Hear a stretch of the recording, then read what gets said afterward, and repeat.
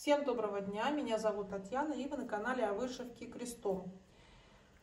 У меня сегодня так удачно сложились обстоятельства, неожиданно для меня самой, что я осталась дома на целый час одна, и еще день, еще есть сол, дневной свет, и поэтому я решила спонтанно снять видео о своих впечатлениях о зимней формуле рукоделия, которая прошла на прошлой неделе, рассказать про нашу вышивальную встречу, какие-то прям самые очень интересные моменты, и рассказать про свои текущие процессы, что у меня вышивается на данный момент. Надеюсь, вам все это будет интересно. Давайте, наверное, начнем с впечатлений о формуле рукоделия. Ну и, конечно же, всех интересуют э, покупки. Впечатления у меня самые позитивные. Мы были в четверг к открытию, когда еще все товары были в наличии, скажем так. А, что я купила? Из вышивального э, рукодельного я приобрела совсем-совсем чуть-чуть. Это вот такие металлические нитки неожиданная для меня покупка. Значит, как получилось? Наверняка, кто часто ходит на формулу рукоделия, вы знаете, что, по-моему, практически на каждой формуле участвует женщина. А у нее называется, по-моему, стенд кружевница, и она продает металлические нити, перле, кружева, которые она покупает в Турции, привозит. Это она делает уже много-много лет. А, постоянные посетители уже ее знают. И а, я не собиралась ничего покупать, но дело в том, что я проходила мимо ее стенда, и я смотрю, две наших девочки там стоят. Это Аня Кира и Юля Башилова. Ну, естественно, я пошла посмотреть, что же они там выбирают. И вот, как обычно это бывает, стадные чувства. Девочки выбирали металлики себе, а нитки, ну и ты понимаешь, что сейчас у них это все будет, а у тебя этого нет. Тебе же это тоже все срочно надо. И я не удержалась, купила я Значит, вот такие нитки металлические. Мы их там внимательно посмотрели. Сейчас это венгерский, если я не ошибаюсь. Да, это Венгрия. Вот. Это уже можно сказать, что остатки, потому что хозяйка этого магазина, она сказала, что сейчас сложно с закупками, она распродает то, что у нее есть. Цены сильно поднялись. А мы посмотрели, что это металл достаточно мягкий. И им, наверное, будет неплохо вышивать. Я еще не пробовала. Вот, но выглядит он очень обнадеживающе. Я люблю, как бы сказать, не то, что люблю, я пользуюсь металликами непопулярных, неизвестных фирм, потому что вот у меня случился положительный опыт, когда я вышивала вот этих лошадок, сейчас мы к ним перейдем, и не, бренд, не брендовые металлики, они стоят гораздо дешевле. Здесь 100 а, метров, и такая одна катушка стоит 450 рублей. Да, за катушку это дорого, но так как здесь большая намотка, поэтому я думаю, что это выгодная покупка. Вот те цвета, которые мне понравились, я купила. И, а, ну и две пуговички керамические я купила, там в виде домика и белого медведя. Ну, ты думаю, я уже просто убрала, не планировала снимать видео, поэтому не буду сейчас уже доставать. Основные мои покупки были не рукодельные. Часть из них вы видите. Это вот эти а, баночки от Натальи Жуковой. Наверняка вы все знаете этого мастера, потому что наши девочки часто покупают у Натальи ее изделия. Вот в таком. Самое известное у нее это грушевое дерево. Грушевое, да? Такая вот емкость, банка для хранения сыпучих изделий. Вот вторая. Это был комплект из трех банок. А можно было купить по отдельности, можно было купить комплектом. Комплектом было дешевле, поэтому мы сами скооперировались. И вот две банки я себе забрала, одну банку Аня себе забрала. Вот. Они, в принципе, смотрятся хорошо и по одной, и все вместе. И вот такой вот э, грибочек. Это подарок на Новый год Аникер. Она его сама выбрала. Я себе там выбрала другой подвес. Мы просто ими обменялись. И пока а, он лежит этот грибочек до Нового года у меня, потом это я подарю Ане. Вот. Также я купила одну разделочную доску дубовую большую. Забыла, как называется производитель, но тоже они, по-моему, часто бывают, потому что нам ну, пришла необходимость, да. И купила я льняное одеяло. Я, по-моему, на прошлом году, как раз тоже после зимней формулы рукоделия, рассказывала про свои впечатления.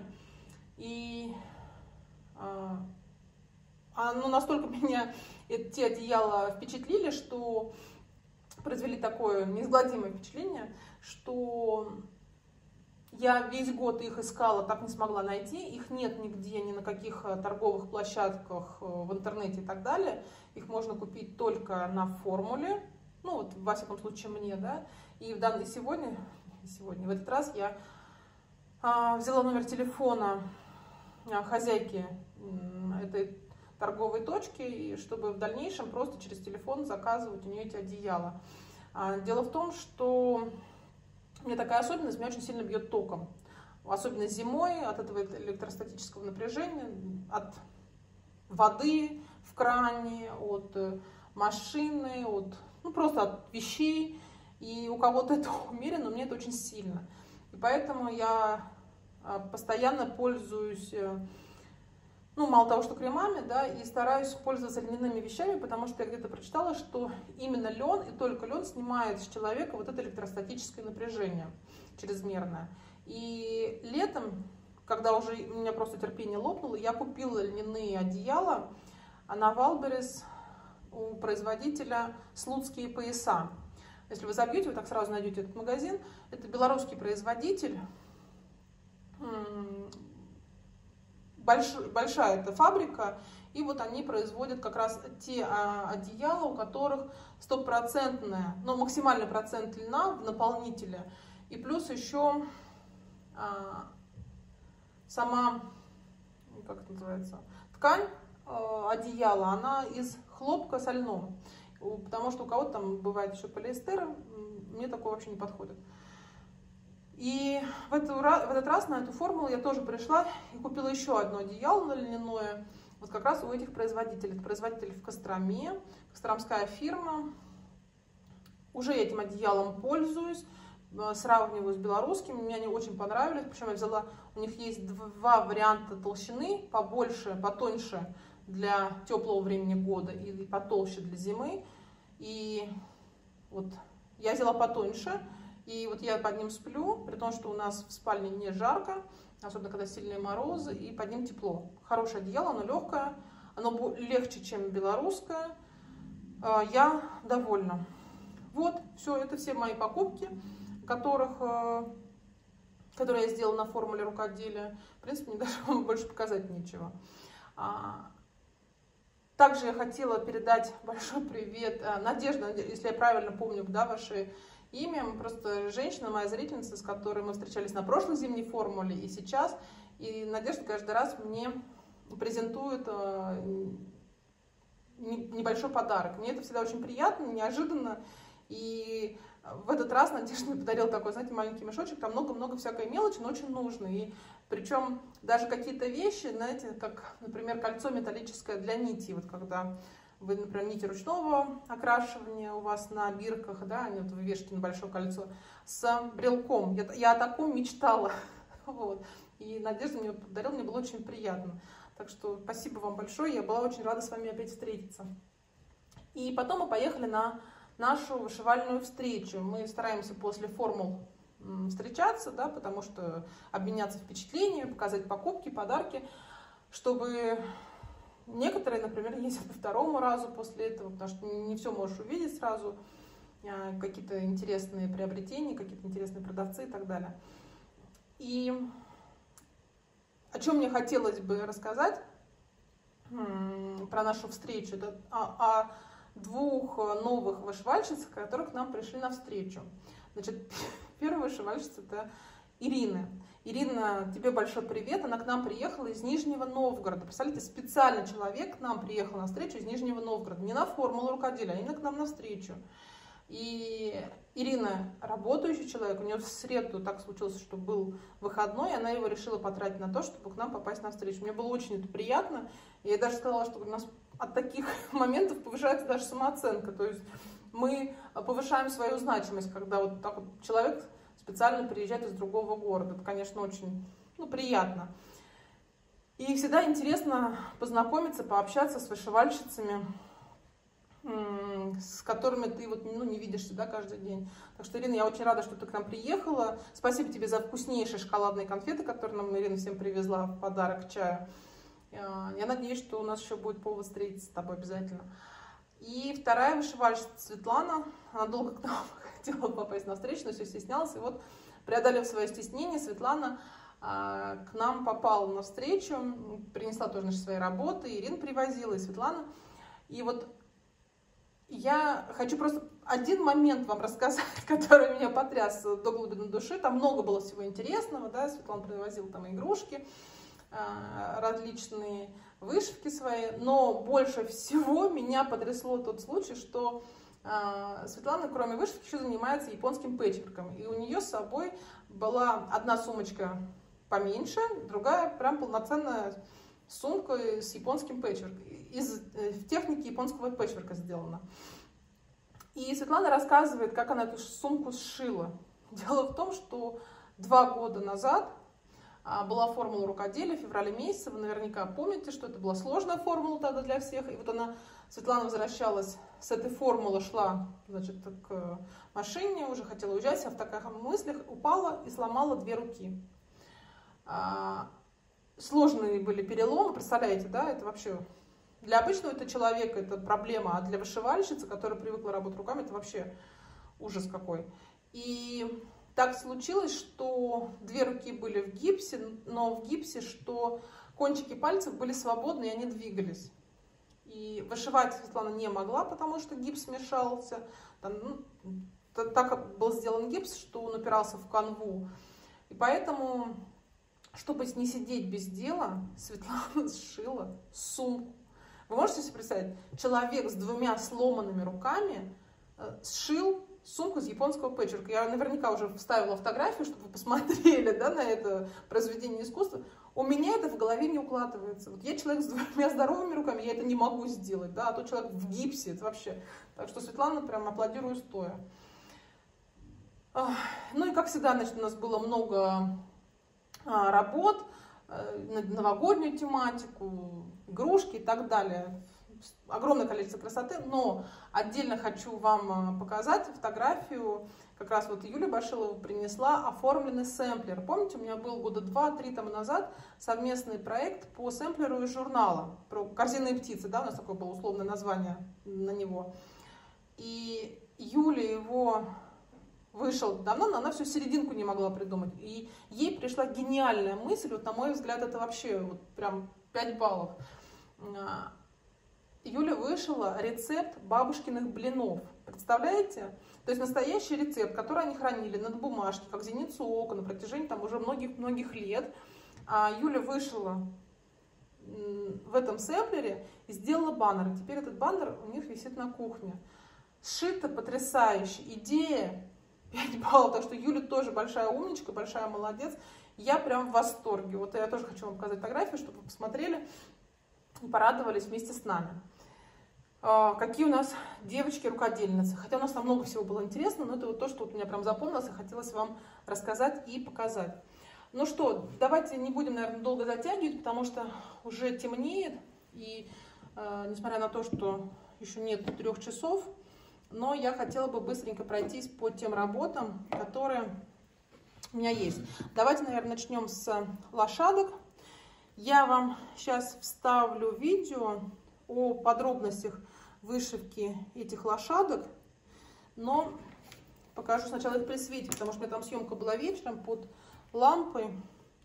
Вот видите, здесь у меня металлик, да, бисер, так это выглядит с обратной стороны. Я вам видео рассказываю про особенности. Сейчас я уже даже их не вспомню, что как. Просто демонстрирую, как это выглядит при дневном освещении. Довольна очень результатом. Буду обязательно что-нибудь еще вышивать от жар птицы. Тоже вот в таком вот формате в виде новогодних игрушек. Но не знаю. Ну, в этом году, наверное, вряд ли. Ну, вернее, этой зимой. Вот такой бисер, металлик, замена цвета лошади, тела и э, цвет бэкстич я поменяла здесь тоже. Так, ну давайте я вам ставлю видео, вы внимательно посмотрите. И хочу я сейчас немножко вам быстренько рассказать про свои замены в лошадках. Вот снимаю с руки, к сожалению, другой возможности нет. Снимаю под искусственным освещением, поэтому все выглядит темнее и контрастнее. Такие мои лошадки. Очень довольна я этим отшивом. Значит, смотрите, что у меня получилось. Во-первых, а, на обложке мы видим, что здесь цвета более теплые, более винтажные. На самом деле, когда вы покупаете набор, вот взять даже тот же самый розовый цвет, это не винтажный розовый, это прям ну, достаточно яркие, свекольные такие оттенки. И вот видите, вот эти, вот эти очень яркие, а, зеленые, бирюзовые, ну, то есть яркий набор. Это надо учитывать. А, первую лошадку я вышла а, на красной основе. Меня, конечно, смущало вот эти розовые, но потом, когда вышиваешь, в принципе, все нормально, ну, все прилично выглядит. Вот, и вот я бы фиолетовый уже здесь бы поменяла, здесь я не стала его использовать. Ну, ладно, как есть, так есть. В принципе, он здесь неплохо смотрится. И добавляла я в, в крестики металлик и немножко в бэкстич я вам пока говорила, вот такой вот у меня есть э, металлик от магазина Лепта. Это не брендовый металлик, скажем так, а какой-то, по-моему, индийский или, может быть, там российский, не помню я его точно. Нити стоит из трех, я сразу целый вышивала. И вышивала не выкладной нитью, а прям бэкстичем. Единственное, что у меня к вам такое предложение вышивать именно швом роспись. Не бэкстич, а роспись. Это когда ты как бы идешь пунктирной линией, да, в одну сторону, а потом закрываешь обратно. Тогда шов ложится гораздо а, ровнее. А, здесь можно использовать все, что у вас есть, какие-то остатки, какие-то, может быть, ваши запасы. И а, вот как, например, с бисером я поступила. Вот в этой лошадке, вот видите, у меня использован бисер Тоха Петит 558 цвет. Это вообще один из моих любимых, такой холодный, холодное белое золото. Да? Не серебристое, но вот белое золото. Красивый цвет, вообще универсально. Часто я его использую. А в этой красной лошадке в елке вот у меня слегка розовый. Это тоже, по-моему, Тоха. Вот. 127 аппетит. Я просто, когда стала уже пришивать, выбрала несколько оттенков, которые мне показались поинтереснее, я пришила. Сейчас, конечно, бы я бы сюда пришила тоже вот этот металлический, он по более выигрышно смотрится. Вот этого розового не видно. Вот, а здесь вот, а здесь были крестики, я их сначала вышла металликом, но потом поняла, что не очень видно. И сверху прям на металлик пришила бисер. Вот у меня такой тоже комплект. Это тоже, по-моему, Тоха. Мне Лена Конькова подарила. Лена, тебе большой привет и огромное спасибо. Вот видишь, я пользуюсь твоим набором. Здесь ассорти. Вот, и вот маленькие э, светло-зеленые я как раз вот использовала здесь. Очень удобно. И, значит, что основная моя замена была, это вот в этой лошадке тело вышить. Вот здесь, смотрите, ну, вполне такая вот рыжая лошадь, да, такая, ну, человек, ну, нормальные цвета. Но когда ты начинаешь вышивать, вот надо было использовать вот этот цвет, вот этот, по-моему. Короче, это очень... Вот они, вот. Даже на камере они выглядят поприличнее, но когда ты начинаешь вышивать, это получается прям цвет лосося или персика. Очень много э, рыжего в этом я стала выше, мне не понравилось. Потому что если бы еще само по себе, это ладно, но так как там э, уже были бирюзовые оттенки, розовые, вот с этим холодным бирюзовым оттенком, вот этот персиковый выглядел, на мой взгляд, вообще ну, некрасиво. И я поменяла, просто взяла из того, что у меня было, в наличии у меня были гамма, и я выбрала цвета, которые более такие коричнево-холодные. Сейчас, опять же, у вас потемнее смотрятся, они более светлые. Это 30-35, 0056 и 3021. Ну, такую вот растяжку сделала коричневого холодного оттенка. Она, конечно, получилась у меня чуть-чуть темнее, чем, а, ну, надо было бы, да, но так как я торопилась, там уже ночью я выбирала это, что первый под попался, в принципе, неплохо. Все равно это лучше, чем вот а, тот персиковый цвет, потому что сама по себе лошадь, тут много вот именно холодных оттенков, и вот тот персиковый выглядел, ну, неуместно, на мой взгляд. Вот. Опять же, сейчас вы не видите металлик, он не так сильно передается, но... Он... А металлик я заменила вот все те цвета, которые вышивались вот этот желтый и темно-желтый яичные такие оттенки. Это, это копыта. Ну, то есть вот эти желтые цвета, они заме... как бы должны имитировать золото, да, вот в опряжке вот здесь вот. Ну, тоже мне не понравилось. Так оно выглядит по деликатнее, скажем так. Я извиняюсь за шумы на заднем плане, дверь не закрыл, ну ладно. И пришлось мне дверь закрыть, потому что очень громко получалось. И опять, представляете, э, стала снимать, а у меня стало ребить экран. Э, почему-то, поэтому более теплый сейчас оттенок света. Значит, что я хотела сказать? Значит, поменяла лошадь. И поменяла я backstitch. Я не вышивала ну, backstitch черным цветом, потому что слишком контрастно было, да. Я взяла вот тоже первый попавшийся мне под руку, попала 744, это DMC уже. Оно смотрится как-то по, поделикатнее. Без backstitch а, конечно, нельзя, потому что такая ну, проработка дизайна требует именно окантовки. Вот, но хотелось понежнее, поэтому я поменяла на такой серый, темно-серый оттенок. Э, для оформления, значит, я использовала с обратной стороны вот такой вот, э, ну, бархат, наверное, да, хорошая ткань, сама по себе, это мне когда-то кусок а, отрезала Аня, вот у меня под много что подходит, а здесь а, вот это синель, ну да, назовем ее так, но вообще-то на самом деле не синель, это э, пряжа для вязания, синтетическая, акриловая, она в мотках продается, в Леонардо, везде очень, она недорогая, у нее там разные есть оттенки, и вот это мне, по-моему, Лена Ветрова подарила, потому что вы покупаете один этот моток и делитесь там на с пятью подружками, потому что вам это должно хватить, не знаю, на очень большое количество и времени, и игрушек. Тут много-то, в принципе, и не надо. И вот этот молочный цвет, красиво он сюда хорошо подошел, потому что сама идея была вот таких комочков снега, да, мне хотелось сделать. И, конечно, вот я, например, человек не особо э, Прошу прощения, вот видите, даже 5 минут не могу спокойно записать. А, короче, э, эту синель я очень рекомендую, ну не синель, а эту пряжу, да, для тех, кто только начинает свой путь э, в оформлении прикладном а, вышивки.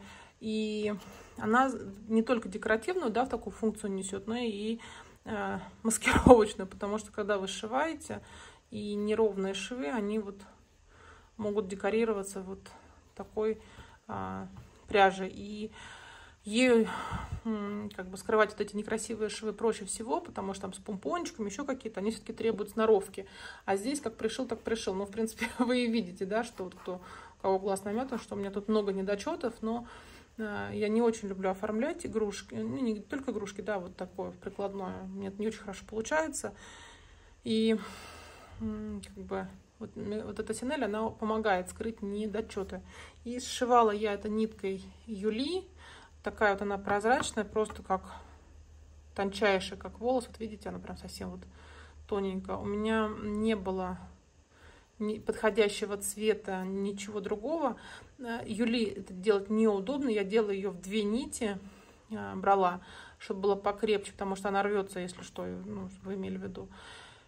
И ею сшивать не очень удобно, потому что ее не видно, она скользит, и, ну, так она с характером нитка. Но зато у нее большой плюс, что ее не видно, когда вы сшиваете. То есть даже потом, когда вы внимательно смотрите, то вы ее не найдете и не увидите. А остальные нитки даже, ну, которые у меня вот были, да, они толстоваты, их заметно. Конечно, если бы, например, может, у меня был бы Титан 100 белый, какой-нибудь или прозрачный, им бы, наверное, было поудобнее. Но я брала из того, что а, есть. Вот все мои а, замены. Тут, в принципе, а, вот эти дизайны небольшие от жар птицы хороши чем? Тем, что тут можно поиграться.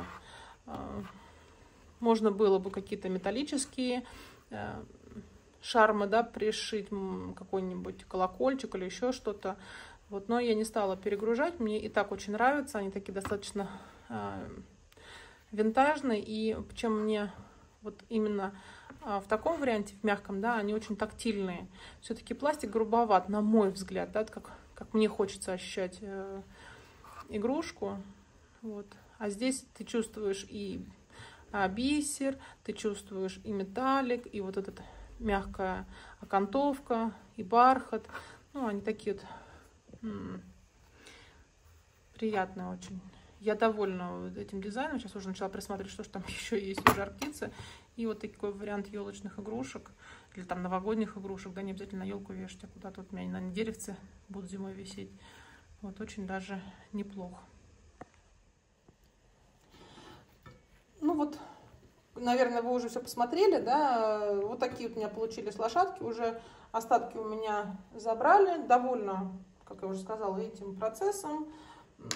Прям я считаю, что все удачно сложилось. И что же я теперь вышиваю дальше? Я вышиваю на данный момент, что у меня, можно сказать, что на финишной прямой, а, значит, девочки, я вам все показываю прям вот на вкуснапах, потому что, говорю, я же не планировала. Так, это Just Nan. Just Nan зимний сэмплер, а, как он, зимний блюз называется, да? Опс. Это вот такой вот очень известный популярный буклет. Я уже рассказывала, что в основе здесь белый лен кэшел 28 канта, но я поменяла на 53 цвет, который потемнее. Мне так кажется, что он выглядит поинтереснее. Значит, давайте посмотрим, что у нас здесь Значит, в чем у меня здесь сейчас загвоздка? В том, что... Нитки я терпеть не могу. Вот вот. Они, хоть я их проклеила, они все равно, знаете, бывают, лезут. Так. А, в тексте не хочу я вышивать на английском языке, потому что я не понимаю, не перевожу, не хочу тут этим заниматься. Но я про текст вспомнила в последний момент, когда уже стала завершать. И думаю, эх, я же текста не придумала. Сейчас вроде бы я нашла какой-то четверостишье про птиц зимой. Вот, э, наверное, я его э, сюда напишу, вышью, а потом уже буду пришивать декоративные элементы, потому что я пока сделала только крестики и швы. Бисер я не пришивала, потому что а он, видите, достаточно длинный и в куснапы, вот эти стандартные, он не помещается, надо только ставить большие куснапы. Тогда можно все сразу пришить. Единственное, что я вот здесь вот пришила а, бусины, которые шли в комплекте, потому что а, там удобно было пришивать сразу, делая крестики. А, какие мои впечатления? Мне нравится моя замена, как это выглядит. Да, вот. Вышивается легко, интересно. Мне прям понравилось. Это очень увлекательно. Э, где-то вот это все я вышла за 3-4 вечера в общей сложности.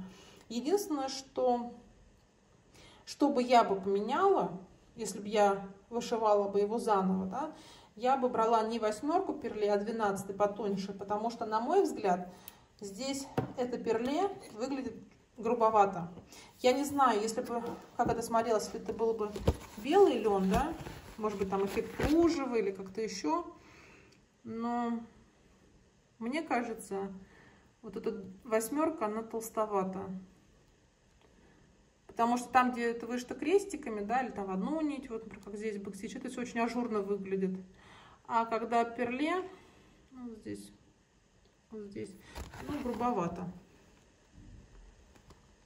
Вот. А так, конечно, интересно. А, надеюсь, что до Нового года я успею текст перенабрать вышить и уже э, пришить э, бисер, бусины и шарм. В принципе, осталось самое интересное. Ну, там опять же в текст все упирается, да, что его надо перенабрать, уместить, посмотреть, как там все это получится. Хорошо выглядит. Я довольна тем, что получается. Не жалею, что я поменяла основу, не жалею, что я его начала, потому что, знаете, иногда бывает так. Единственное, что я вам говорила, по-моему, да, что у меня в моем паке, сейчас вам покажу, Там вот эти белые бусины, не бисер который, а именно бусины, они некоторые бракованы с ржавчиной. Тут, вот видите? Может. Ну, короче, надо выбирать. Я думаю, что должно мне вроде бы как хватить. В крайнем случае заменю. Э, но вообще так, смотрите, ну, будьте аккуратны. Ну, а что будьте аккуратны? Будете пришивать, увидите, да, если у вас такое есть. Так, это у нас был Just Nem, который я вот надеюсь, что у меня в ближайшее время завершится. Также из основных процессов, которые у меня на пяльцах, которые я вышиваю за столом под лупой. Тоже я ничего не снимала. С пялец они вот как есть. Это, это, это, как называется, без корню от Марии Потапенко. Да, вот так вот это выглядит. Вот такая вот бескорню должна получиться.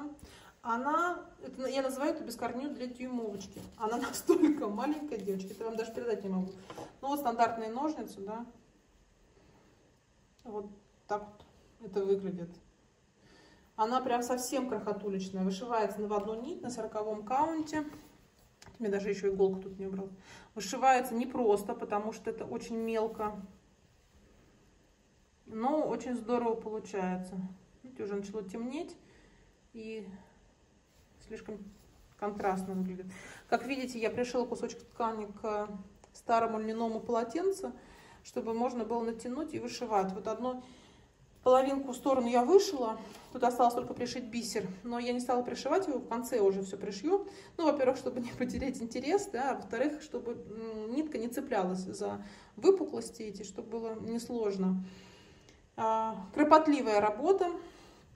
То есть вот эту а, правую часть я вышивала, ну, наверное, дня 4, наверное.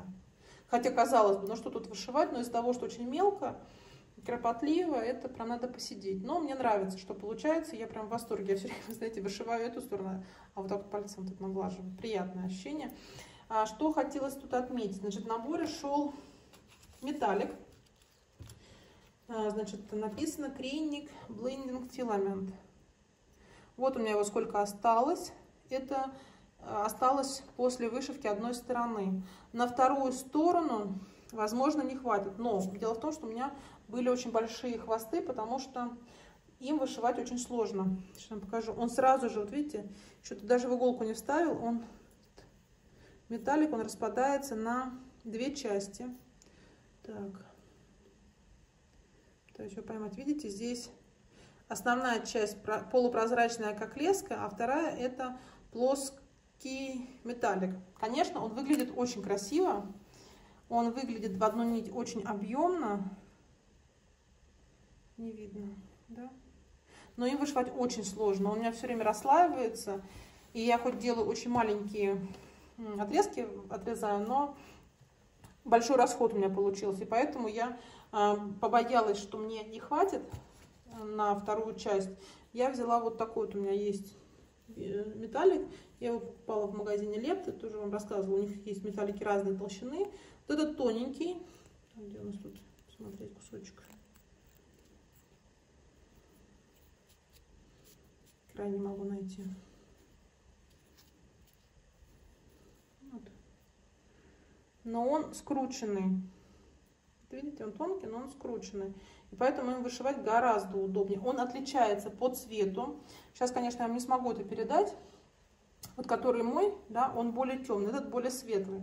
Но так как это будут металлики на двух разных сторонах, там даже если вы знаете об этом и будете присматриваться, это еле заметно. Вот эти оттенки,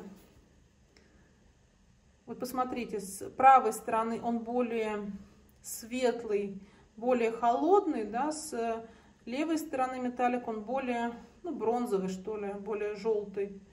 Вообще я считаю, что это не принципиально. Тем более эти стороны друг от друга немножко отличаются, там тут сетка еще появляется. Поэтому я думаю, что это не принципиально. Но моих нервов не хватило вышивать вот этим, вот этим металликом. Я не умею с ними обращаться. Может быть, есть какие-то хитрости, но так как я ими не владею, мне было сложно. Ниток еще достаточное количество их. В принципе, немного, но так как вы вышиваете в одну нить. Единственное, что у меня некоторый, какой-то один цвет расслаивался. А я не знаю, с чем это связано, то ли потому, что я вышиваю на 40 каунте, каунте он потолще, да, там переплетение поближе друг к другу. Но это, кстати, ты никогда не застрахован, такое бывает. Может быть, это брак на производстве. У меня такое случалось иногда. Вот, поэтому тут никаких претензий к э, производителю, к дизайнеру, да, к Марии Потапенко. Это, ну, бывает такое. Все остальные цвета нормально. Очень хочу его завершить. Я его не снимаю с пялец, не снимаю со станка, пока не завершу. Потому что если я его сейчас отложу, то отложу надолго. А хочется его завершить. Это, значит, мой э, второй основной процесс. И еще один основной процесс. У меня их почему так много, потому что в зависимости от того, где у меня есть возможность повышивать, э, за столом, э, на диване, в машине, и, соответственно, меняется и сам процесс. Например, вот без корню я могу вышивать только за столом под лупой. Вот этот процесс я могу и в машину взять, и на диване, да, когда мы, например, с мужем смотрим какой-нибудь фильм. Я взяла в работу Калиду от Свинтаны. Начинала я прошлой зимой. Думала, буду вышивать по месяцам, но по месяцам у меня не пошло. Не знаю почему, хотя я просто вспоминала, периодически доставала. Мне хотелось этот процесс э, до вышив... ну, вышивать, но вот почему-то не шло. Вот сейчас я уже почти добираюсь до середины, еще не середины, но я уже близка к этому. Значит, что у меня на момент,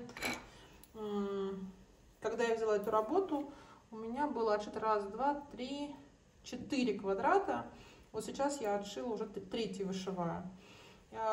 Кажется, что немного, да, но на самом деле да, здесь много крестиков, потому что рамки вот эти все, названия месяцев, это все зашивка такая достаточно вот, видите, плотноватая. Э, тут немало крестиков, да, это очень обманчивое впечатление. Вот. Пока вышиваю, как получится, да, когда я его там завершу, я планирую зимой завершить. А ну, то, что я планирую, то, что случается, не всегда это совпадает. А напомню, я вышиваю его итальянским шелком.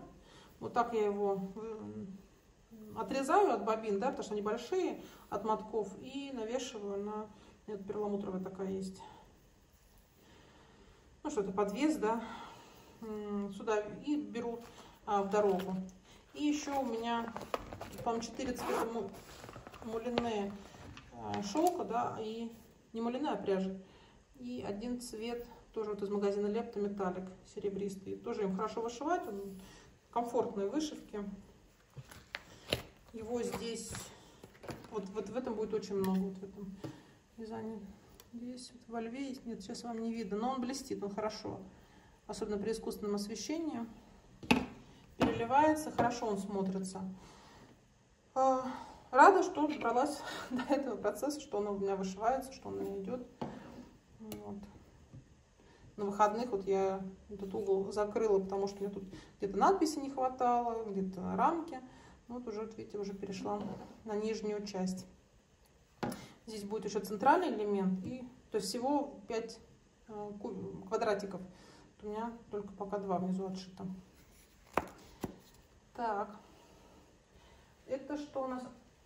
И еще один у меня начался дорожный процесс. Потому что сейчас у меня нет дорожного процесса удобного, небольшого. У меня до этого был Blackbird Garden Club, но сейчас что-то мне до него руки никак не дойдут. Я начала Мелхил. Ну, потому что, знаете, может быть, руки не дошли, потому что хочется зимних дизайнов. Начала я Мелхил. Вот такую вот шишку. Вышиваю я на так, бумаге. Вот в таких вот пяльцах Neocraft. Летом, по-моему, купила. Использую магнит из набора, чтобы схему вот так вот цеплять.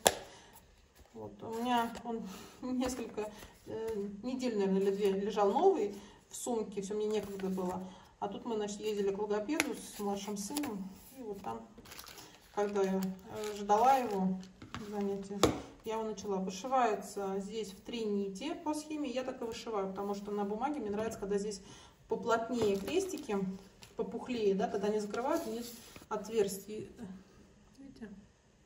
Крестики хорошо смотрятся. Вот, мне три нити несложно вышивать. Нормально. И вот беру с собой такие э, ножнички, они хорошо используются. Конечно, бисер я уже буду пришивать дома, но у меня все в пакетике лежит, чтобы не потерять. Вот это все те процессы, которые у меня сейчас в работе. Конечно, мне хочется начать, все я уже месяц никак хочу, но никак не начну мадам Ляфе, не знаю. Может быть, даже и перегорю, не буду начинать зимний процесс, а может быть, начну, не знаю, посмотрим э, зимнюю подушку. И еще у меня в планах, тоже это было неожиданно для меня, что у меня появились такие планы. Дело в том, что я купила у Sunflower такую вот рамку. Рамку по типу Милхил. Э, значит, ну, девочки Sunflower сделали свой вариант. Я когда увидела на сайте, мне она очень понравилась, я сразу же купила. И думала, наверное, ну, пускай лежит в запас. Но дело в том, что у меня где-то месяц назад прикупились два набора. Опять же, под влиянием Ани она а, делает там вышивку одну. Вот такую она уже вышила, по-моему. А, и так как мне эти наборы попались по очень хорошей цене, меньше, чем 1800 рублей. По нынешним вариант, временам это очень прям хорошая цена. Я не помню, где я покупала, по-моему, один на Озоне, другой в каком-то магазине, не помню где, не буду врать. Здесь у нас керамические пуговицы еще. Вот. Здесь собачка. И вот а, я думала, или их вышить рядом, такую вот в одну рамку, да, зимний такой дизайн, чтобы был. Ну, то есть родители на катке, дети снеговиков лепят. В принципе, все логично. Но почему-то вот сейчас мне захотелось вот этих детей вот сюда вышить, в эту рамку. Мне кажется, это будет очень хорошо смотреться. Прям на ткани тоже вот вышью. Я думаю, что это хороший вариант. Да? Нет? Что скажете? Или все-таки надо вместе на одном куске ткани вот это вышить? Два дизайна, а потом в одну такую рамку сомнения меня терзают, сомнения. Ну, короче, мне так понравилась эта рамка, что мне хочется сюда что-то, какой-то зимний дизайн вышить. А мне их просто не так много, поэтому я вот выбираю из, из этих двоих. Что вы думаете по этому поводу? Что вы мне посоветуете? Ну, на этом, наверное, все. Буду ждать ваших советов, ваших э, отзывов э, на те процессы, которые я сейчас вышиваю. И увидимся в следующих видео. Спасибо, что досмотрели это видео до конца. Приятно было вам все это показать и рассказать, услышать ваши, прочитать ваши комментарии. До новых встреч, до свидания.